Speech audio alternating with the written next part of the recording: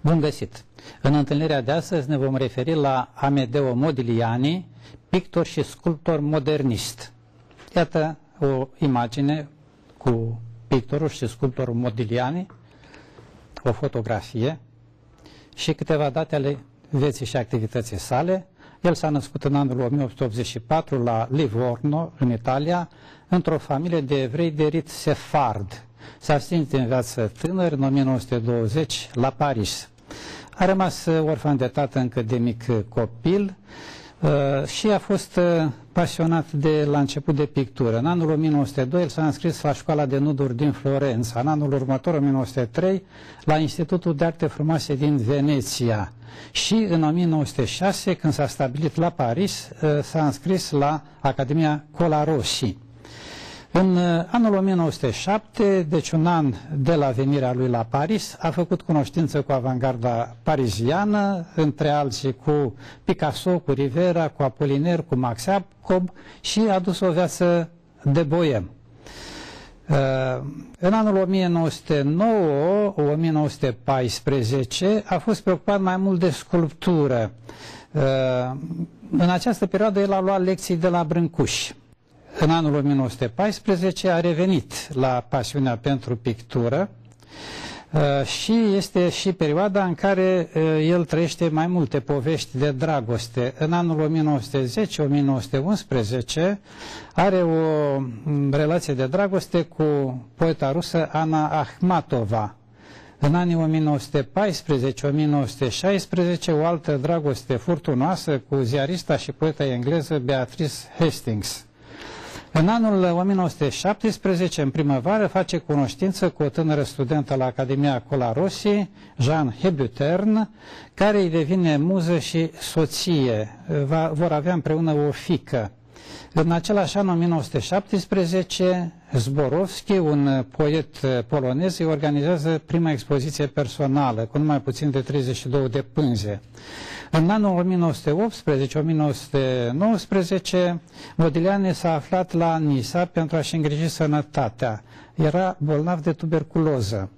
În anul 1920 a și decedat uh, din cauza tuberculozei, uh, iar în uh, a doua zi după decesul său și soția sa, în vârstă de numai 21 de ani, și-a pus capăt vieții, nerezistând șocului produs de moartea artistului. Modigliani a excelat ca pictor în portrete și nuduri, în care el a folosit culori pure ca și Sezan și o anumită stilizare de factură cubistă care va avea eco în creația lui Picasso. Uh, postum, în anul 1958, uh, Jean Modigliani, care a rezultat din uh, căsătoria artistului cu Hebutern, a publicat o lucrare intitulată Modigliani fără legendă.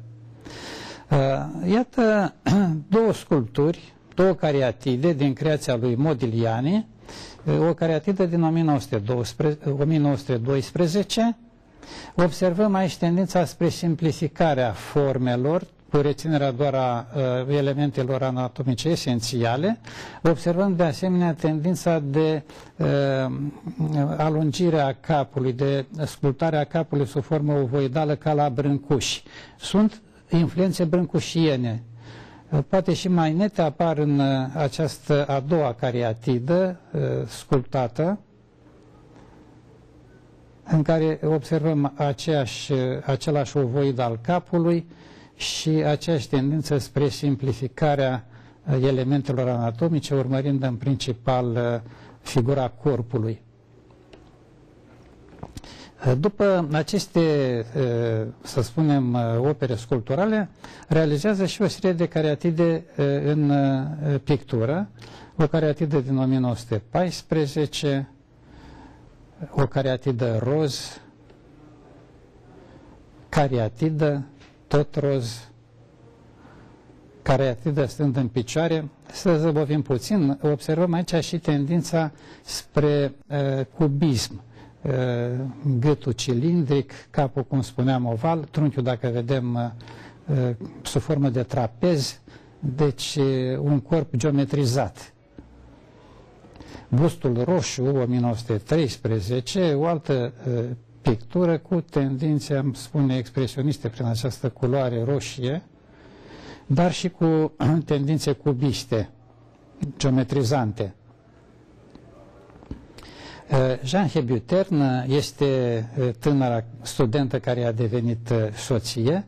O remarcăm aici frumoasă într-o fotografie și în portretele pe care le-a dedicat Modigliani. Vom remarca diferența de la fotografie la portretele pictate. Iată Jean Hebutern cu pălărie, Uh, deja remarcăm aici uh, alungirea capului și gâtul la rândul său alungit, uh, de asemenea nasul proeminent și ochii migdalați albaștri. Aceleași caracteristici am putea spune și în alte portrete pe care le-a dedicat soției, ochii albaștri din 1817, ochii soției sale, remarcăm același cap oval, gât alungit, nas și el prelung. Am zice că Modigliani este influențat de modelul de frumusețe feminină renascentist. Sigur, tablourile sale nu sunt renascentiste, dar acest, această pasiune pentru chipul feminin uh, alungit și pentru gâtul înalt uh, erau caracteristice pictorilor uh, renascenți, renascentiști. Jean Hebutern cu Collier, altă imagine asocii pictorului cu aceleași elemente caracterizante, dar, după cum vedem în altă ipostază, am zice că în fiecare tablou are o altă expresie sufletească. În plus, remarcăm uh, acest contrast dintre culoarea trupului, o culoare, uh, să spunem, uh, trandafirie și fundal. Jean Hebutern, aici avem de-a face cu o statuie, nu este o pictură, este o statuie colorată, folosea și colorarea statuilor. Din nou, soția, iată, într-o altă ipostază, cu altă expresie de distinsă femeie gânditoare, din nou cu pălărie, de data aceasta este vorba despre o pictură în aceeași ipostază de gânditoare, soția artistului într-o poziție, să zicem, de uh, repaus,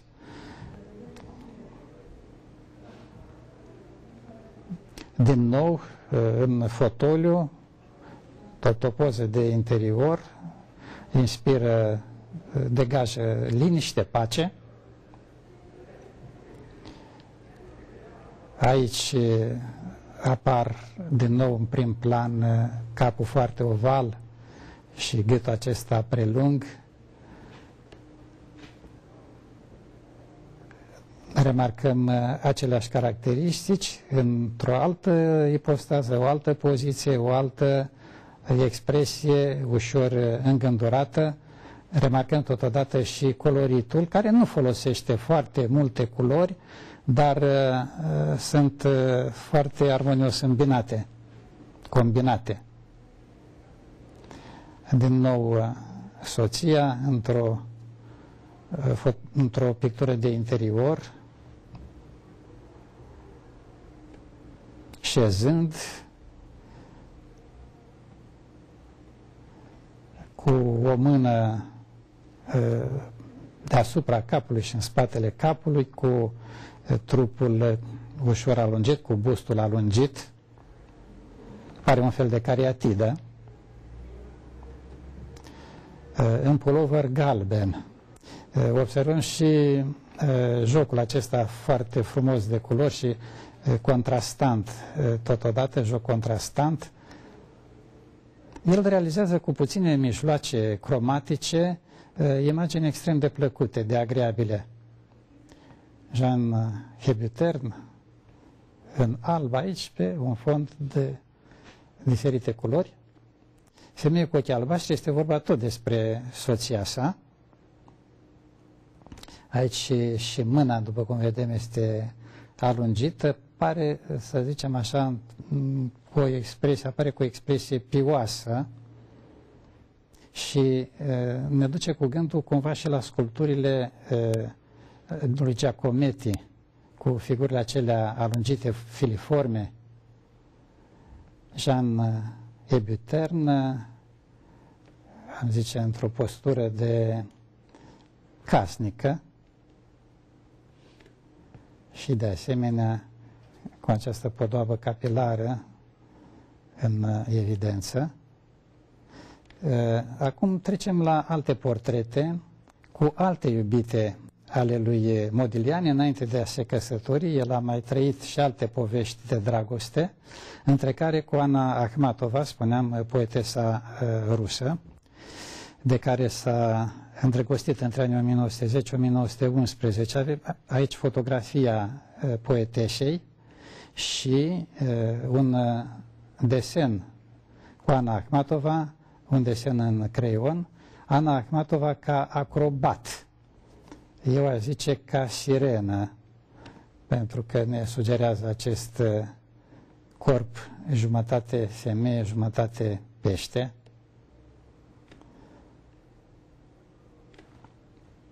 Beatrice Hastings, în fața unei uși, este o altă mare iubire a lui uh, Modigliani din anii 1914-1916.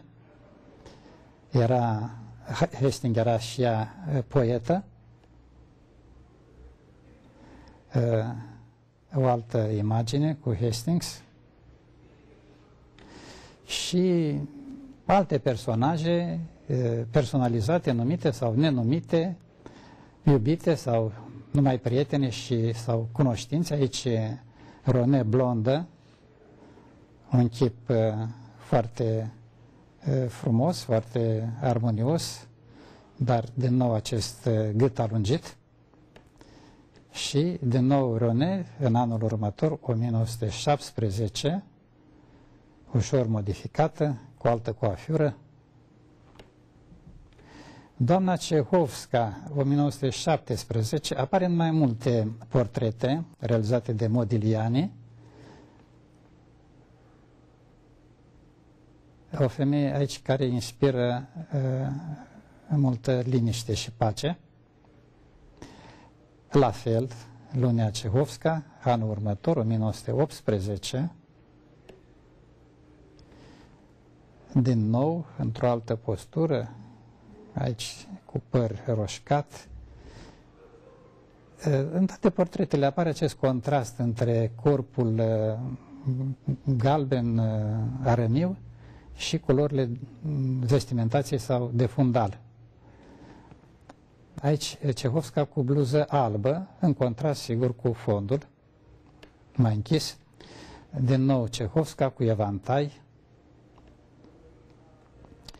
Ana Zborovska, cea este vorba despre e, soția poetului polonez Zborovski, cel care a organizat o expoziție în 1917 din nou Zborovska pe canapea. Uh, observăm uh, la Zborovska uh, ovalul acesta și mai lungit și gâtul și mai subțire decât în alte portrete. Nu era ușor, sigur pentru Modigliani, ca în același stil, cu acele capete ovoidale și gâturi alungite, să realizeze o diversitate de chipuri. Sunt uh, elemente caracteristice pe care el le reține, le pune în prim plan, cum ar fi ochii, formatul ochilor, nasul, gura. Iată, din nou, doamna Zvorovska, același cap foarte alungit și gât, al și corp, am putea spune, bust alungit. Din nou, Ana Zborovska. Ana Zborovska cu sfeșnic și o femeie cu păr roșu, 1917, care apare din nou într-o roche de seară și din anul 1918, Alma Isa, șezând, 1916,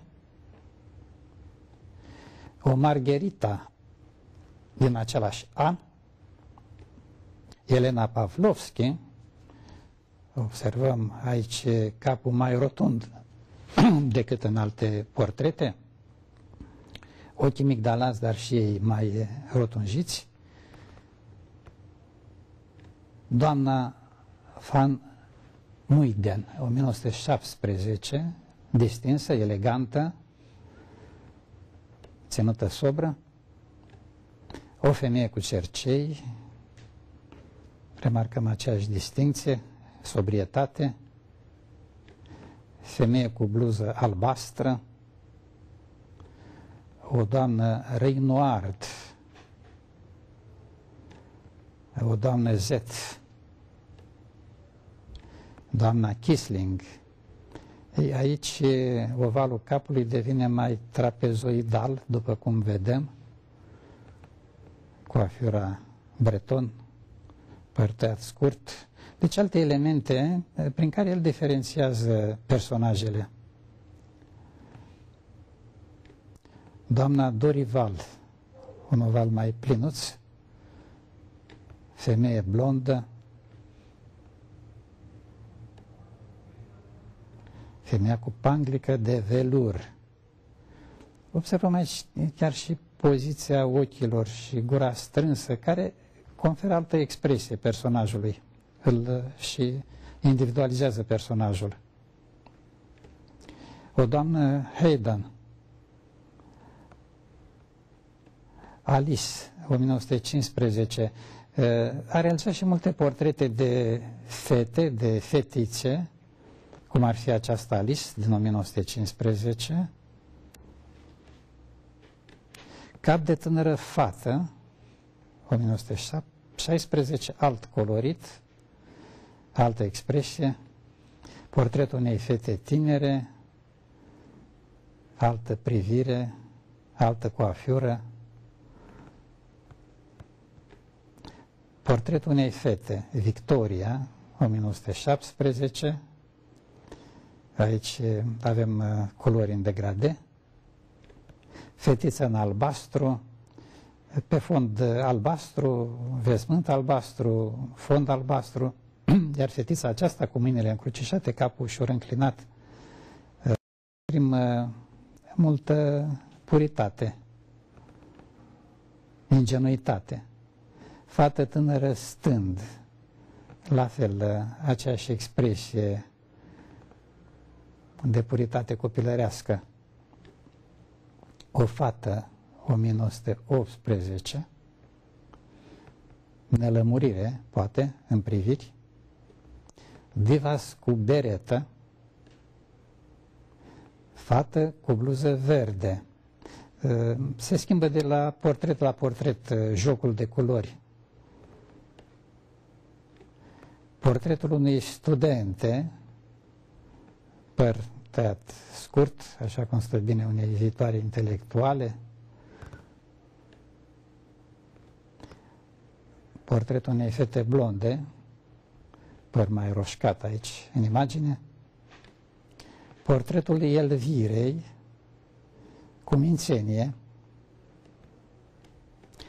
aceeași Elvira sprijinindu-se uh, cu cotul de o masă, în gândurare, mica Louise, fată tânără cu corsaș cu picățele,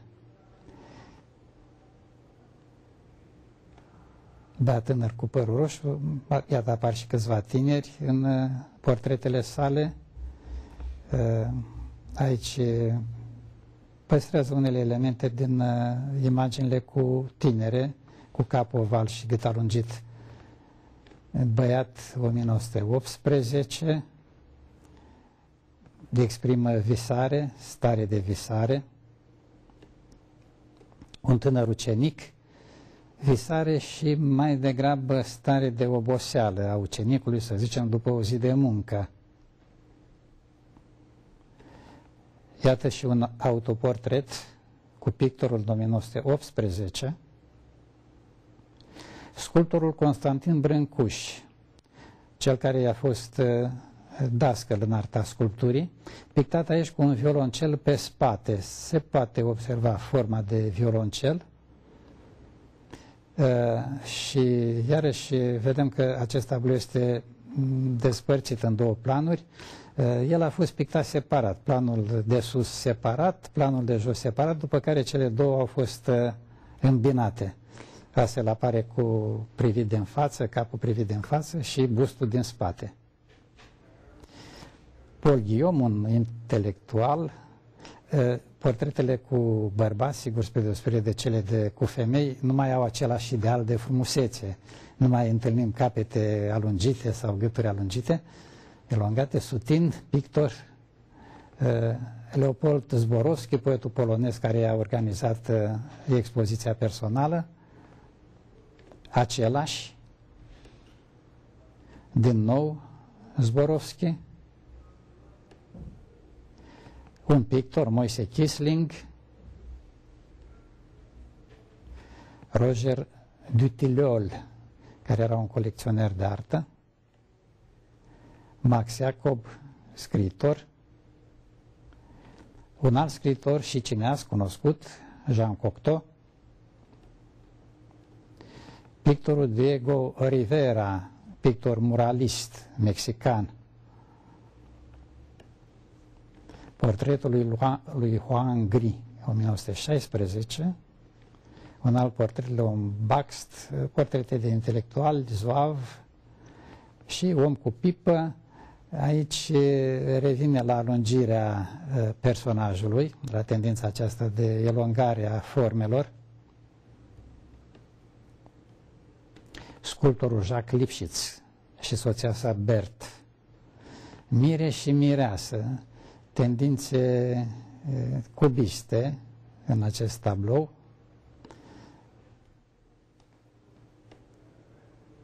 Nud așezat pe un divan. A realizat și o mulțime de nuduri în care elogează frumusețea corpului feminin.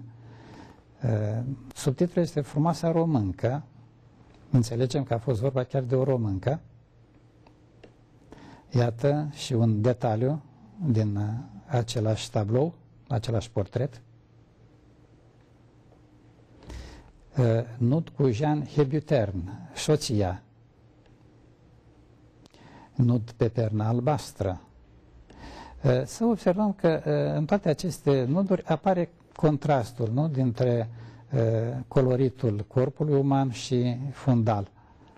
De asemenea, apar diferite expresii ale femeilor nud. De asemenea, nudurile sunt alungite și din nou ne duce cu gândul la Giacometti. Nud culcat. Iată această alungire a corpului și contrast între culoarea trandafirie a corpului și culorile mai închise de fundal. Nud șezând, o altă expresie de oboseală, de somn, nud șezând, nu pe divan, uh, alt nut culcat, voluptuos, nut cu brațele încrucișate sub cap, de asemenea, și marele nut culcat, dar și obosit, stare de somn. Un nud alungit, iată, chiar titlul spune că alungește corpurile, încă un nod alungit, privit din profil și din spate, un nud în picioare, seminud, o femeie tânără, seminud, un peisaj din 1919. El a pictat și câteva peisaje, nu multe, dar care mi se par foarte expresive. De pildă, aici apar câteva case deschise cu acoperișurile roșii, în fața lor aș zice, niște echiparoși și în prim plan o cale roșie, exprimă această tendință spre înalt. Din nou, chiparoși și casă, clădirile înalte și chiparoșii și mai înalți depășesc cu vârfurile lor clădirile, exprimă aceeași aspirație a pictorului spre zbor, spre înalt. Să spunem în final despre Amadeo Modigliani, că așa cum el a fost uh, influențat de Brâncuș în sculpturile pe care le-a realizat, dar uh, și în uh, picturile sale în care preia caracteristici ale sculpturilor, acele capete ovoidale, înainte de toate, și acea simplificare a formelor.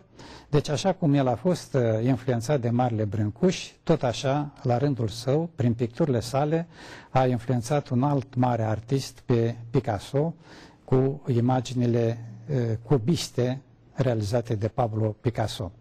Vă mulțumesc pentru atenție.